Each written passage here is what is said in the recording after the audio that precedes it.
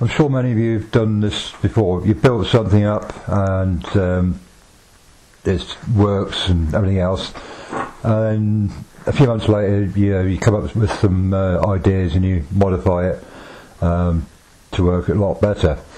And down in front of me, I've got all the components of the telescopic um, camera crane. Now, this arrangement I've got here at the moment fits in a 24 by 16 um, area. Now, if I want to put this in a box, then uh, yeah, that'll be a quite a compact unit. And if I put the tripod side by side with the crane part, that actually comes down to uh, 24 by 12, and I could probably get it a little bit smaller than that. So the modifications that I've done, um, I'll go into a bit more detail when I set it up. But uh, the crane part itself, um, I've changed the uh, the back end where the weight goes, and the tripod. I've got um, a permanently mounted uh, quick adapter on there. The head part of the crane, I've made it detachable, and I'll go through the reason why um, as well. And I've improved the, the way the uh, the servos connect so that they're um, a lot more uh, square because the original crane was like um, a little bit tilted.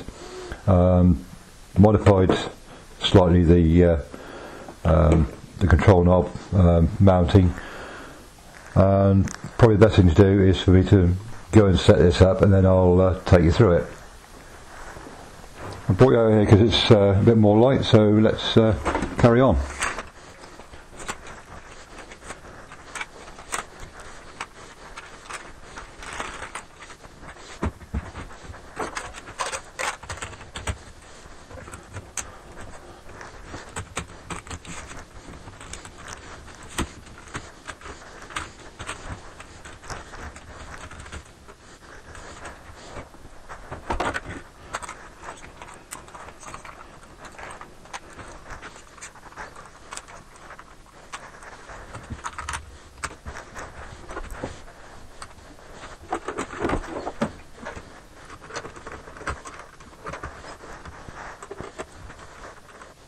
So there you go, that's uh, now set up, just got to balance it.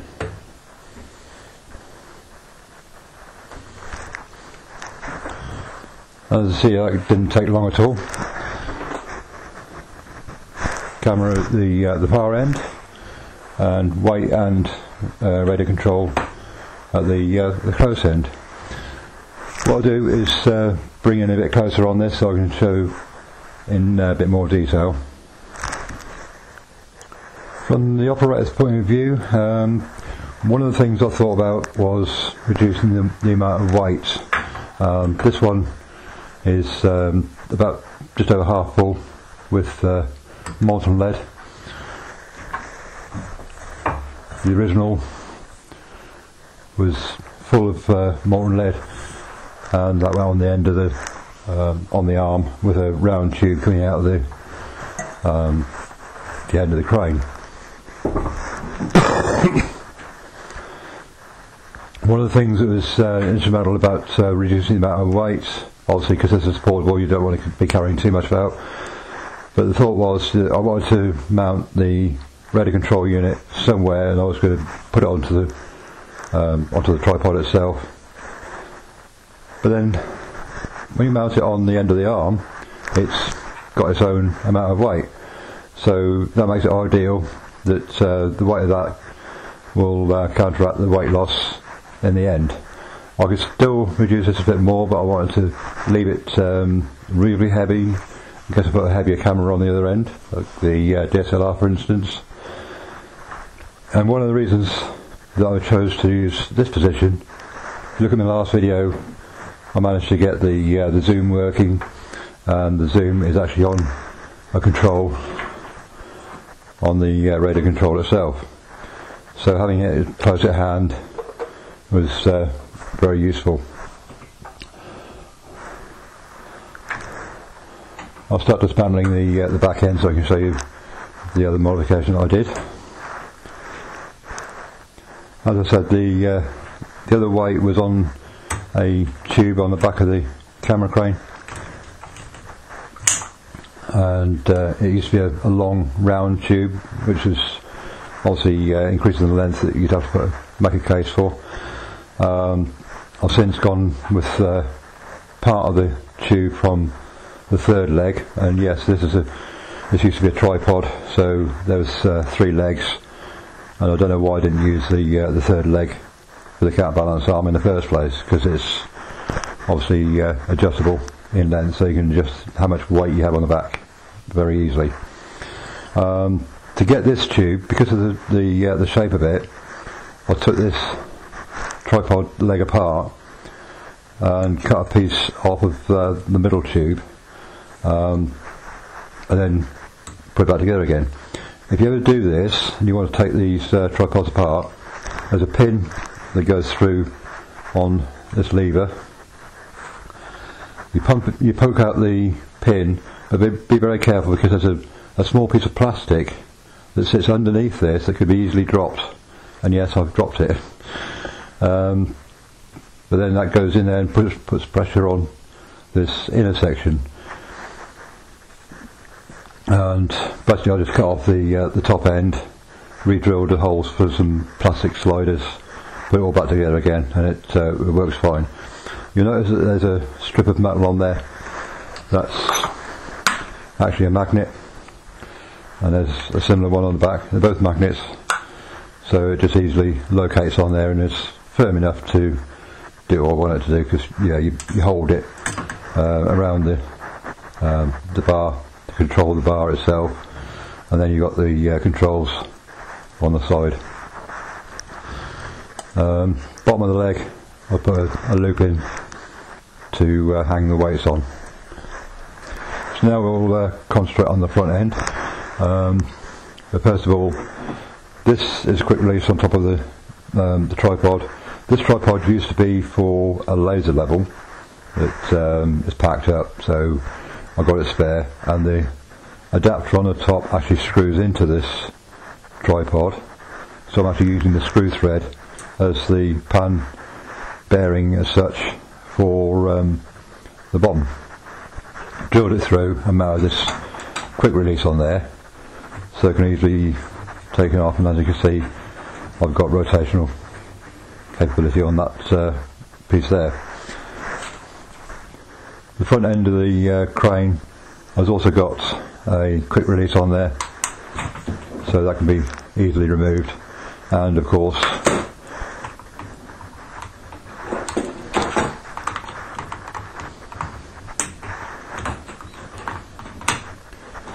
I can mount it directly onto the tripod if I want uh, more of a fixed location and yeah, sort of centralise it at a certain uh, position and then control the camera without having to worry about the crane moving up and down.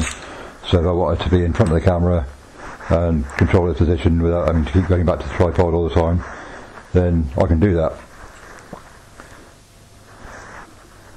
This bar here, I've changed it and uh, I've actually made it uh, on an angle compared to flat. Um, I should have done this in the first place because it allows more room to swing up.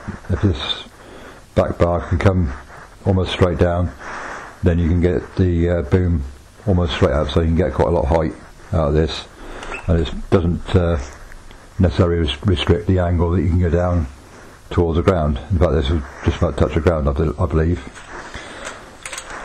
And obviously, the uh, the front bar um, needs to be changed, so you have got the same angle. Again, I've changed this uh, piece for a U-shaped channel instead of the square that I had with a load of cutouts in it. And I've also put in an RCA socket on the side and that's so I can plug the camera in and also to be able to use a different camera that's got uh, different adapters like again the uh, DSLR. The original um, mounting was with a straight bar on here and then there was a bar coming out here with the servo on it and I didn't really like that because I wasn't able to, to uh, change it plus it made it more vulnerable more room down the bottom there to pack in a case, things like that. Having the mounting on the top of the um, the bar at the angle is uh, a lot more useful to me. Uh, as I said, the uh, I've sorted out the uh, zoom control for the uh, camera with a servo mounted on the um, the hot shoe that I put on there. And look at the last video that shows how I did it all and why, and it works very well. And the box on the top was originally smaller, and the radio control module set on the outside uh, I've now put, it into a different box. This is an old uh, power brick that uh, was no longer useful, and there's a a small LiPo. It's not 18650. It's it's a shorter one, probably an 184 something, um, along with a, a USB charger, a boost converter, take the uh, LiPo voltage up to 6 volts for the radio control. And the radio control module itself is sat inside and on off switch which uh, has got a blue light on the outside because I can't see the uh, LED on the uh, control boards. So that's it. That's uh, all put together and I've left enough room between this side and the mounting purely because at some point I can put in a different um, um, yoke on here that's wider, bigger to take uh, something like the DSLR. Um, obviously with a quick release on there, I can put that on any of my tripods. And I've actually got a, another crane which is uh, longer and less portable, um, like uh, six foot sections and there's three of those, so it's total about 18 foot long. And I can put a quick clamp, uh, a quick connect on uh, on that as well and mount this radio control unit. It's all self-contained. All I need is this and the radio control and somewhere to mount it and I can use it. So I hope that's been uh, useful for you if you want to think about building a camera crane. It's, uh, as I say, it's small, reasonably portable and uh, with, a, with the weight it's um, obviously there's about a pound and a half of weight there. Uh, if you don't want to be carrying that about then uh, from my first video I actually made a bag that's got a hook on it that will obviously hook onto the end of the bar. Uh, and you can fill this with uh, sand, rocks or even um, a water bottle. Um, you know, like a one litre water bottle or something or two litre water bottle. Um, that you can fill up from the local stream or river and then empty it out afterwards so you haven't got much weight to carry about so there you have it